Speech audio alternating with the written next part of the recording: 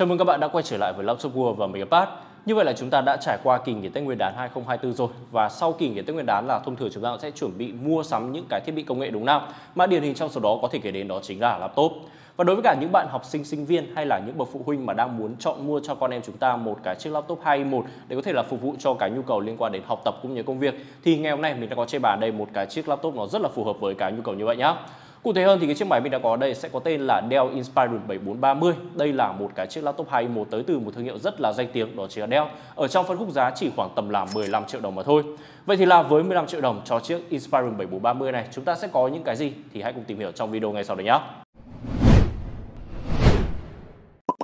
Yếu tố đầu tiên đó chính là về ngoại hình cũng như chất lượng build. Theo mình, đây cũng là một cái yếu tố rất là đáng mua đối với cả cái chiếc Dell Inspiron 7430 này. Nhìn chung thì từ trước tới nay cái thương hiệu Dell nó thường hay được gắn liền với một cái danh đó chính là nồi đồng cối đá. Tuy nhiên thì với cái dòng sản phẩm Inspiron ấy thì nó lại không thật sự là được ờ, mang chọn cái danh này lên đúng nào. Bởi vì là đối với cả cái dòng Inspiron thì nó sẽ hướng đến cái tệp người dùng đó chính là học sinh sinh viên hay là những bạn mà, kiểu, vừa mới ra trường đi làm ờ, cầm một cái chiếc laptop với cái ờ, giá trị sử dụng cũng như là cái mức giá mang lại nó rẻ nhất có thể. Và thông thường thì với cái phân khúc như thế thì cái chất lượng build sẽ là cái thứ mà bị đánh đổi đối với cả những cái sản phẩm Dell Inspiron. Tuy nhiên thì đối với cả cái chiếc Inspiron 7430 này theo mình là nó hoàn toàn khác luôn nhá. Bởi vì đây là một cái chiếc máy mà nó sẽ có trong ta toàn bộ cái phần thân vỏ là được làm từ kim loại và thậm chí là không giống như những cái sản phẩm khác ở trong phân khúc giá rẻ, tức là nó sẽ cố trang bị cho chúng ta cái lớp vỏ kim loại. Tuy nhiên thì nó sẽ kiểu như cắt giảm ấy, làm cái phần lớp vỏ kim loại này nó mỏng thôi để có thể là tối ưu về cái phần chi phí. Thì đối với cả cái chiếc Inspiron 7430 này chúng ta có được cái phần vỏ ở đây là cái phần kim loại nó làm rất là dày bản luôn các bạn nhé khi mà các bạn sờ vào là chúng ta sẽ thấy thứ nhất đó chính là về cái trọng lượng cái chiếc máy này nó cực kỳ đầm luôn khi mà có trọng lượng lên tới là hơn 1,5 kg và thứ hai đó chính là về cái mức độ cứng cáp tổng thể của chiếc máy này là cực kỳ cao luôn nhá. Khi mà chúng ta ấn vào cái phần khu vực khung bàn phím hay là phần khu vực mặt A này thì sẽ đều cảm thấy được cái chiếc máy này nó sẽ có thể chống flex tương đối là tốt. Nhìn chung thì đây là một cái chiếc Dell Inspiron mà theo mình là nó cực kỳ xứng đáng với cái danh nghĩa đó chính là nồi đồng cối đá tới từ thương hiệu Dell đúng không? Và tất nhiên là với một cái mức độ cứng cáp cao như này thì nó sẽ đảm bảo trong ta về cái độ bền khi sử dụng về lâu về dài là rất tốt. Khi mà các bạn mua về để có thể là sử dụng cho những cái tác vụ cơ bản hàng ngày thôi hay là các bạn mà là phụ huynh chẳng hạn muốn mua cho con em chúng ta sử dụng thì một cái chiếc laptop mà có được một cái độ bền tốt nó sẽ là một điểm cộng rất là lớn đúng không? Chuyển qua với cả khu vực cổng kết nối đi thì chúng ta cũng sẽ có đây tương đối là đầy đủ những trang bị cổng kết nối ở trên chiếc máy này. Chúng ta sẽ có đây là một cổng USB-A, hai cổng USB-C hỗ trợ chuẩn Thunderbolt 4 luôn nhá. Chúng ta cũng sẽ có cả HDMI jack 3.5 mm cũng như là có hẳn một cái khe SD full size ở đây luôn. Nhìn chung thì cái khe SD full size là một cái điểm mà mình cảm thấy khá là nhiều hãng đã cắt bỏ trong năm 2023 vừa rồi bởi vì là để có thể là tiết kiệm cho chúng ta được một cái diện tích tốt hơn đúng không nào. Đặc biệt là đối với cả những cái chiếc laptop kích thước 14 inch như là cái chiếc 7430 này. Và đối với cả cái chiếc Inspiron 7430 này, cái việc mà nó giữ lại cái khe SD full size theo mình nó sẽ rất là tốt luôn nhá. Bạn nào mà đang muốn kiếm một cái chiếc laptop để có thể là tiện lợi copy ảnh từ camera của chúng ta ra thì với cái việc được trang bị khe SD full size này nó sẽ rất là lợi thế đúng không? Tuy nhiên thì à, đối với cả cá nhân mình nhá, nếu như mà mình được chọn đấy thì mình sẽ chọn là cắt bớt một cái cổng USB-C hỗ trợ Thunderbolt 4 đi và thêm vào đó là một cái cổng USB-A thì nó sẽ mang cái tính thực dụng là cao hơn. Bởi vì là với hai cổng USB-A thì rõ ràng là chúng ta có thể sử dụng một cổng để có thể là cắm dongle chuột đúng nào hay là dongle bàn phím chẳng hạn. Còn một cổng USB-A nữa thì có thể là sử dụng để dùng cho những cái trường hợp khác. Cổng USB-C hỗ trợ chuẩn Thunderbolt 4 thì theo mình là cắt giảm xuống còn một cổng thôi thì nó sẽ không ảnh hưởng gì cả. Bởi vì à, rõ ràng những cái phụ kiện mà sử dụng cái cổng USB-C hay là cổng Thunderbolt 4 thì nó cũng chưa thật sự quá là phổ biến đúng không? Chúng ta chỉ cần một cổng thôi là nó đã khá là thoải mái để có thể là sử dụng rồi. Đi vào trong với cả cái phần khu vực khung bàn phím đi thì chúng ta sẽ có đây là một cái phần bàn phím với cái layout quen thuộc với dòng Dell Inspiron mà thôi. Và nhìn chung thì đây là một cái layout mà mình cũng đánh giá tương đối là cao ở trong cái thế giới laptop bây giờ. Bởi vì à, kể cả là đối với cả những bạn người mới luôn nhá thì chúng ta cũng sẽ có thể khá là dễ dàng làm quen với cả cái phần layout này. Đi kèm với đó là cái cảm giác gõ phím mình cũng đánh giá tương đối là cao ở đây.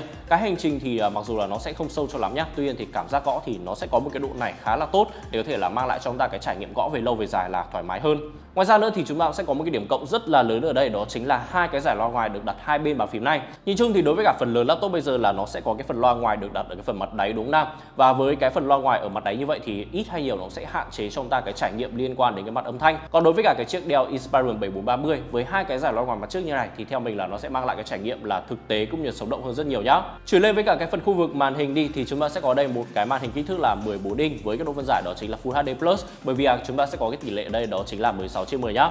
Màn hình này thì mặc dù là nó sẽ không mang lại cho chúng ta được một cái độ bao phủ máu cao, Chúng ta chỉ có cái độ bao phủ máu trung bình 45% NTSC ở đây mà thôi Tuy nhiên thì nó sẽ được bù đắp lại bằng việc đó chính là cái màn hình ở đây nó sẽ là màn hình phủ gương chứ không phải là phủ nhám nhá Và với một cái màn hình phủ gương như này thì nó sẽ phần nào đấy là giúp cho chúng ta bù đắp được cái nhược điểm liên quan cái độ bao phủ màu. Bởi vì là đối với cả những cái chiếc laptop có màn hình phủ gương thì nó sẽ hạn chế hơn cái tình trạng đó chính là cản cái ánh sáng từ cái phần màn hình của chúng ta đến với cả cái phần mắt. Và từ đấy thì nó sẽ mang lại cho chúng ta cái mức độ bão hòa cũng như cái mức độ tương phản màu sắc là nó tốt hơn so với cả cái màn hình phủ nhám thông thường. Nhìn chung thì đối với cả màn hình ở trên chiếc Dell Inspiron 7430 này, nếu như mà các bạn sử dụng với những cái nhu cầu bình thường hay là sử dụng để xem phim, giải trí, xem YouTube chẳng hạn thì theo mình là nó vẫn sẽ cho chúng ta được một cái chất lượng hiển thị khá là tốt ở đây. Còn nếu như mà bạn nào mà có những cái yêu cầu cao hơn, ví dụ như màn hình nó sẽ phải có được cái độ bao phủ màu cao để có thể làm những công việc liên quan đến đồ họa, chỉnh sửa hình ảnh các thứ chẳng hạn, hay là yêu cầu là nó phải có một cái màn hình chống nhám tốt thì các bạn nên lựa chọn những cái sản phẩm khác nhé. Đi lên phía trên màn hình thì chúng ta sẽ có đây là một cái webcam và đây cũng sẽ là một cái điểm nữa mình đánh giá cao ở trên cái sản phẩm này khi mà chúng ta sẽ có cái webcam đây độ phân giải lên tới là Full HD nhá. Ngoài ra nữa thì chúng ta sẽ có đây, đó chính là cái phần gạt che webcam để tăng cường cái tính bảo mật cho chúng ta luôn. Tức là cái phần webcam ở trên cái chiếc máy này có hai điểm mình đánh giá cao. Thứ nhất là về chất lượng khi mà nó sẽ hỗ trợ cái độ phân giải lên tới là Full HD và thứ hai đó chính là về cái tính bảo mật khi mà nó được trang bị cái gạt che webcam ở đây. Nhìn chung thì đây cũng sẽ là một cái điểm mà chúng ta không thường hay thấy đối với cả những cái chiếc laptop 2i1 ở trong phân khúc giá rẻ như này đúng không nào? Đến với cả cái phần cấu hình phía bên trong đi, thì chúng ta sẽ có con chip đây là Intel Core i5 1335U đi kèm với đó là 8GB RAM và 512GB SSD và với một cái combo cấu hình như này thì nó sẽ rất là phù hợp để các bạn có thể sử dụng với những cái tác vụ cơ bản nhé ví dụ như là làm văn phòng hay là học tập online chẳng hạn. Và với cái việc là được trang bị sẵn ở đây đó chính là RAM Dual Channel thì chúng ta sẽ được kích hoạt sẵn là Intel Iris Xe ở trên con Intel Core i5 1335U này. Từ đấy thì chúng ta sẽ có được cái khả năng xử lý đồ họa tốt hơn ở trên cái chiếc Inspiron 7430 như chung là đối với cả những cái dòng card đồ họa onboard mới ra mắt trong thời gian gần đây, ví dụ như Intel Iris Xe chẳng hạn, thì nó sẽ hoàn toàn là đủ để cho chúng ta có thể sử dụng với những cái tác vụ từ cơ bản bình thường cho đến là thậm chí gaming nhẹ một chút luôn nhé thì cái con card đồ họa này nó vẫn sẽ có thể đáp ứng được rất là tốt luôn.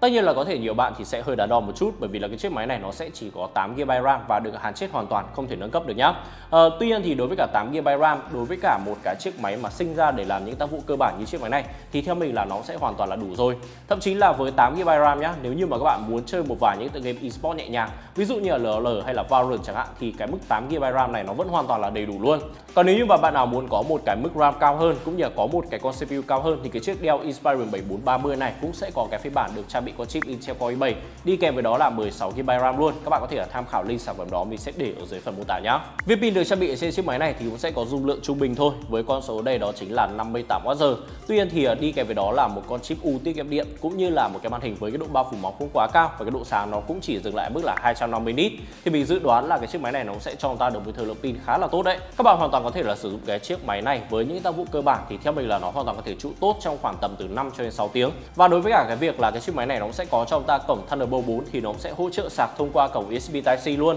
Tức là các bạn hoàn toàn có thể mang theo cái bộ sạc C của chiếc máy này hay là sử dụng những cái bộ sạc USB Type-C như vậy là nó đã giúp cho chúng ta có thể tiết kiệm được một cái bộ sạc khi mà mang cái chiếc máy này đi di động, đúng không và đó là những gì mà mình muốn chia sẻ về cái chiếc Dell Inspiron 7430 nhìn chung thì theo mình đây là một chiếc laptop 2i1 khá là đáng chọn mua ở trong phân khúc giá là khoảng tầm 15 triệu đồng. Cụ thể hơn đó chính là 15 triệu 990 nghìn đồng cho cái phiên bản mình đang có trên bàn ngày hôm nay với cái số tiền này bỏ ra thì cái chiếc Dell Inspiron 7430 nó sẽ mang lại cho chúng ta những cái yếu tố như là về cái chất lượng build là rất tốt này, có thể nói là gần như đỉnh nhất ở trong phân khúc giá rồi. Chúng ta sẽ có đây là cái phần bàn phím cũng như là cái phần loa ngoài cũng được làm rất là tốt ở trên cái sản phẩm này. Một cái phần webcam với cái độ phân giải là Full HD rất là phù hợp đối với cả những bạn nào mà hay sử dụng laptop để có thể là học hành hay là học tập online. Và ngoài ra nữa thì chúng ta sẽ có được một cái mức hiệu năng tương đối là tốt ở trên cái sản phẩm này. Nó sẽ chỉ hơi bị hạn chế ở cái việc là chỉ có 8 GB RAM hàng chết mà thôi. Tuy nhiên thì theo mình cái mức này là nó vẫn sẽ khá là đủ đối với cả những cái tác vụ cơ bản, cho đến là những cái tác vụ liên quan đến gaming nhẹ nhàng rồi đúng không còn các bạn thì sao? Đây có phải là một cái lựa chọn laptop 2i1 phù hợp với các bạn hay không? Thì cũng để lại comment phía bên dưới cho chúng mình cùng biết nhé và nếu như cảm thấy video hữu ích, có thể để lại cho chúng mình một like, một share và một sub.